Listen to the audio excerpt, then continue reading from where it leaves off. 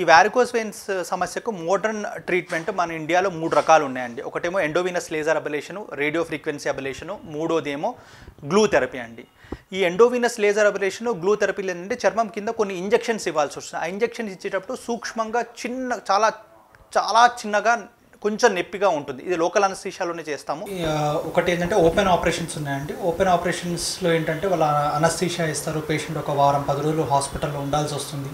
దాని తర్వాత పుండు మానడానికి కూడా ఒక రెండు మూడు వారాలు పడుతుంది. వాళ్ళు రెస్ట్ కూడా at least two to three weeks తీసుకోవాల్సి వస్తుంది. ఇప్పుడు మన దగ్గర ఇండియాలో హైదరాబాద్లో ఇప్పుడు మన దగ్గర అవైలబుల్ అయ్యే లేటెస్ట్ టెక్నాలజీ ఏంటంటే అండి అది మూడు రకాలు ఉన్నాయి. ఒకటి లేజర్ ఆపరేషను ఇంకోటి ఏమో రేడియో ఫ్రీక్వెన్సీ అబలేషను ఇంకోటి మూడోదేమో బ్లూ థెరపీ ఈ లేటెస్ట్ టెక్నాలజీలో ఈ మూడు రకాల సర్జరీస్ కూడా ఏంటంటే ఇవి డే కేర్ ప్రొసీజర్స్ అంటే ఉదయం పేషెంట్ ఎలాగైతే హాస్పిటల్కి నడుచుకుంటూ వస్తాడో అలాగనే ఆపరేషన్ తర్వాత తనంతట తానే తన కాళ్ళ మీద నడుచుకుంటూ ఇంటికి వెళ్ళిపోవచ్చు. దీని తర్వాత అదే రోజు నుంచి పేషెంట్ తన పనులన్నీ చేసుకోవచ్చు. నెక్స్ట్ డే నుంచి అసలు ఏవి లీవ్ కానీ ఏవి పెట్టాల్సిన అవసరం లేదు. తను అన్ని పనులు హాయిగా చేసుకోవచ్చు. మొదటి రెండు వారాలు మాత్రం జాగింగ్ రన్నింగ్ సైక్లింగ్ ఇలాంటివి చేయొద్దంటాను తప్పించి మిగతా అవన్నీ ఆయన రెగ్యులర్ యాక్టివిటీస్ ఆయన జాబ్స్ అన్నీ చేసుకోవచ్చు అనమాట ఇంకోటి ఇదేంటంటే లోకల్ అనస్థీషియాలో జరిగే ప్రొసీజర్ ఈ మూడు రకాల ప్రొసీజర్స్లో కూడా ఏంటంటే దీని అంటే నిగూఢంగా దీంట్లో ఏంటంటే ట్రీట్మెంట్ విధానం ఒకటే రకంగా ఉంటుంది. ఏవైతే ఈ సిరులలో రక్తం వెనక్కి ప్రవహిస్తూ ఉంటుందో అంటే గుండె వైపు ప్రవహించకుండా ఉంటుందో అలాంటి సిరులు ఎక్కడైతే లీకేజ్ ఉంటుందో ఆ యొక్క రక్తనాళాలను బ్లాక్ చేయడం జరుగుతుందన్నమాట. అయితే ఇది బ్లాక్ చేసిన తర్వాత దాని తర్వాత ఏంటంటే దీన్ని దీన్ని బ్లాక్ చేసే విధానానికి ఆపరేషన్కి ఏంటంటే లేజర్లో కానీ ఈ యొక్క రేడియో ఫ్రీక్వెన్సీ అబలేషన్లో కానీ సన్నటి ఇంజెక్షన్స్ కొన్ని లోకల్ అనస్థిషియా అంటాం. అవి ఇవ్వాల్సిన అవసరం ఉంటుందన్నమాట. అదే గ్లూ థెరపీలో అయితే ఆ సన్నటి ఇంజెక్షన్స్ కూడా ఉండదు ఆ చిన్న డిస్కంఫర్ట్ కూడా ఉండదు.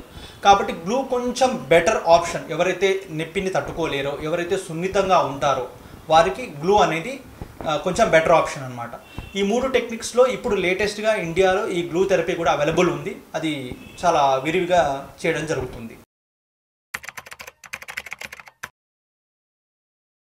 పెరిఫెరల్ వాస్కులర్ డిసీజ్ అంటే ఏంటంటే మన బాడీలోని రక్తనాళాలు అంటే డిఫరెంట్ ఏరియాస్లో ఎక్సెప్ట్ హార్ట్ ఇంకా బ్రెయిన్లో కాకుండా ఈ సిరులు ధమనులు శరీరంలో ఎక్కడ ఉన్నా వాటిలో ఏ సమస్యలు ఉన్నా కానీ వాటన్నిటిని కలిపి పెరిఫెరల్ వాస్కులర్ డిసీజ్ అని అంటారు.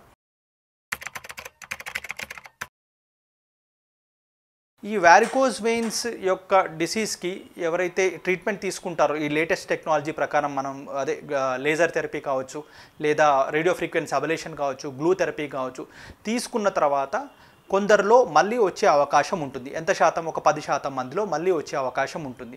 అది ఎందుకు అంటే ఈ వ్యారికోజ్ వెయిన్స్ సమస్య జన్మతహా ఉండే సమస్య అనమాట అయితే ఎవరైతే ఎక్కువసేపు నుంచొని చేసే జాబ్ ఉన్న వాళ్ళు ఉంటారో వాళ్ళలో ఇది అధికంగా మళ్ళీ వచ్చే అవకాశాలు ఉంటుంది. అది కొందరిలో ఎర్లీగా రావచ్చు కొందరిలో లేట్గా రావచ్చు. కానీ ఎప్పుడైతే ఓ- ఒక పదేళ్ళ తర్వాత మళ్ళీ ఒక పది శాతం మందిలో రావడం జరుగుతుందో వారికి మళ్ళీ ఒకసారి మనం ఈ యొక్క స్కానింగ్ చేసుకుని ఆ స్కానింగ్లో వచ్చే రిజల్ట్ని బట్టి అవసరమైతే చిన్న ట్రీట్మెంట్ అంటే ఏదంటే స్క్లిరోథెరపీ అంటాం అనమాట కొన్ని ఇంజెక్షన్స్ ఇచ్చి అవి తగ్గించవచ్చు. రేర్గా చాలా చాలా తక్కువ శాతం మందిలో మటుకు మళ్ళీ లేజర్ చేసే అవకాశాలు ఉంటాయి. కానీ ఇది చాలా తక్కువ మందిలో వస్తుంది. ఎవరైతే వాళ్ళ ఆరోగ్య సమస్యలను బరువు ఎక్కువ పెరగకుండా చూసుకోగలగడము లేదా వాళ్ళ కాళ్ళను కాపాడుకోగలగడము ఒకవేళ అవసరమైతే మళ్ళీ స్టాకింగ్స్ని కంటిన్యూ చేయడము ఎవరైతే చేస్తారో ఇది మళ్ళీ మళ్ళీ రాదు.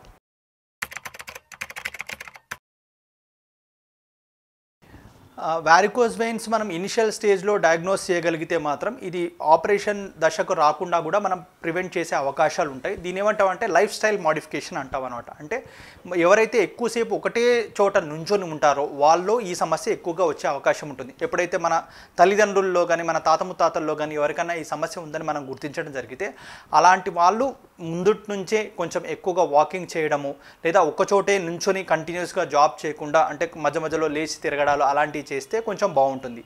ఇప్పుడు ఈ వ్యారికోస్ వెయిన్స్లో కూడా ఆరు స్టేజెస్ ఉంటాయి కాబట్టి మొదటి ఒకటి రెండు మూడు స్టేజ్లో ఉన్న వాళ్ళను మేము మోస్ట్ ఆఫ్ ద టైమ్స్ స్టాకింగ్స్తోనే ట్రీట్మెంట్ చేయడం జరుగుతుంది. కాకపోతే ఈ స్టాకింగ్స్ వల్ల సమస్య ఏంటంటే వాళ్ళు రెగ్యులర్గా దాన్ని వేసుకోరు కాబట్టి అది ఇంకా పై స్టేజ్కి వెళ్తుంది.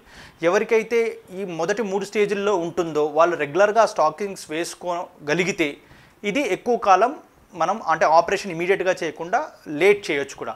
ఎందుకంటే వారికోజ్ వెయిన్ సమస్య ఎప్పుడు ఒక ప్రాణాంతకమైన సమస్య కాదు. దానివల్ల మనిషి ప్రాణానికి కానీ లేదా కాలు కోల్పోవడానికి కానీ ఆస్కారం ఉండదు.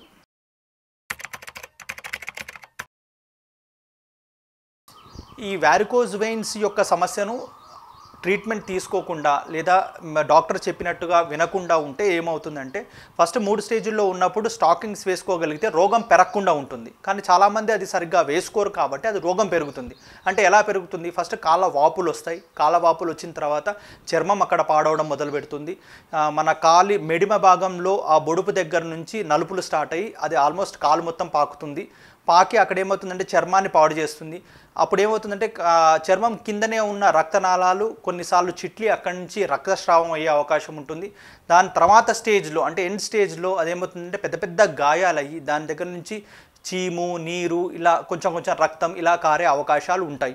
అవి మనిషిని ఏంటంటే చాలా ఇబ్బంది పెడుతూ ఉంటాయన్నమాట. ఇంకా ఇలాంటి స్టేజ్లో కూడా ఎవరు దాన్ని పట్టించుకోకుండా ఉన్నారు అంటే మెల్లగా ఇన్ఫెక్షన్ స్టార్ట్ అవుతుంది. ఎప్పుడైతే ఇన్ఫెక్షన్ స్టార్ట్ అవుతుందో అది కాళ్ళ మీద బొగ్గల్లా వచ్చి కాళ్ళని ఎరుపుదనం చేసి కాళ్ళని ఇంకా లావు చేసి అది దాన్ని ఏమంటామంటే మన సెల్యులైటిస్ అంటాం. ఆ స్టేజ్కి వచ్చిన తర్వాత ఏమవుతుందంటే కాల్లో ఇన్ఫెక్షన్ అంతా మెల్లగా బాడీలోకి పాకి పేషెంట్ యొక్క ప్రాణానికి కూడా ప్రమాదం కలిగించే అవకాశాలు ఉంటాయి.